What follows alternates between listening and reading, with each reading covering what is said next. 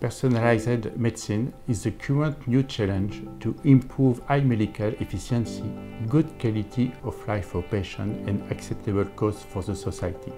The Department of Urology at Hospital Tenon in Paris aims to provide personalized and highly specialized healthcare for urological conditions such as cancer, stone or prostatic disease, or reconstructive surgery for kidney, bladder, or sexual male dysfunction. The research laboratories are members of the Institute of Cancer and of the Institute of Technology managed by the university. Through this uh, integrative platform, we are able to provide for the patient individual advice and personalized uh, therapeutic approach. Your integrative and translational approach for thyroid management is well illustrated by urinary stone. In, in these departments, we, we do everything in terms of urology. From my side, I develop endourology. For kidney stones, of course, we are able to develop um, the different technologies, including uh, flexible ureteroscopy, PCNL, and shockwave lithotripsy. So it's a very comprehensive uh, treatment in terms of uh, surgical activities.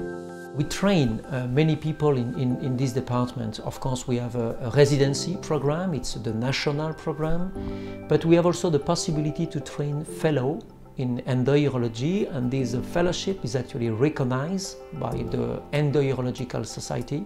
We also do uh, a medical management of each stone patient.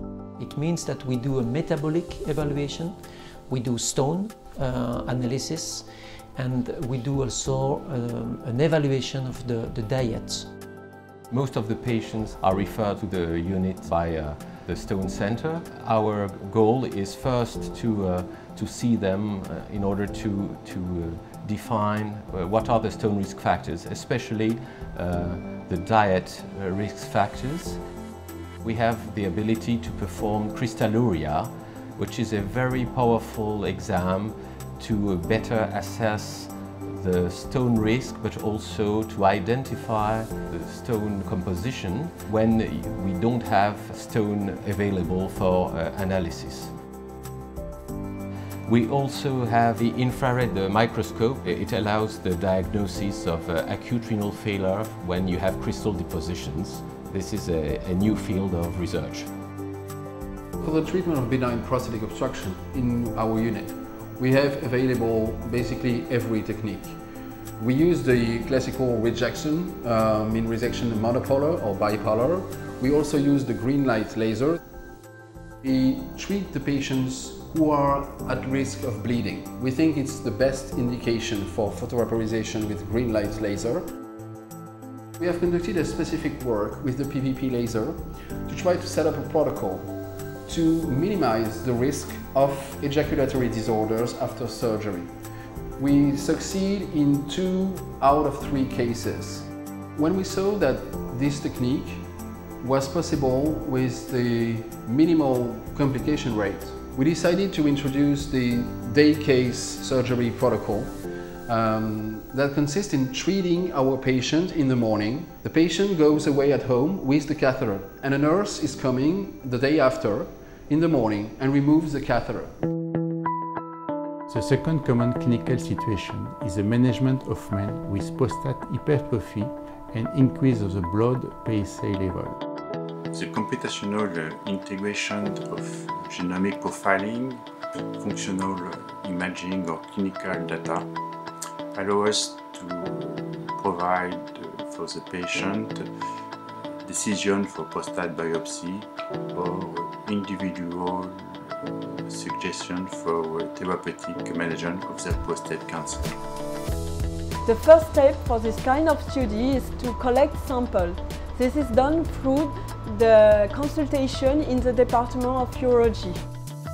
All samples are associated to clinical data and familial data in order to search for genes mutated in hereditary form of uh, urological cancer, for example. These biological samples are used uh, in order to perform different types of uh, genomic analysis uh, such as genotyping, sequencing, methylation profiling all this analysis will allow to establish a personalized genomic profile from each patient. The development of 3D imaging or fusion image uh, in order to modelize individual anatomy before surgery is also a, new approach of uh, personalized uh, medicine. The gold standard for treatment of small renal masses is the partial nephrectomy. When your patient presents a small cortical and exophytic mass, the laparoscopic approach is an optimal indication. During the intervention, we dissect and clamp the renal artery before the excision of tumor. This kind of intervention remains associated with technical difficulty. Before each intervention, we evaluate the renal vascularization with a CT scan reconstruction. With this management, we can reduce the morbidity and intraoperative. This is a CT scan with contrast injection at arterial phase with a multiplanar and three-dimensional reformat. We show the renal artery anatomy of the patient and especially the number of renal artery and their segmentation.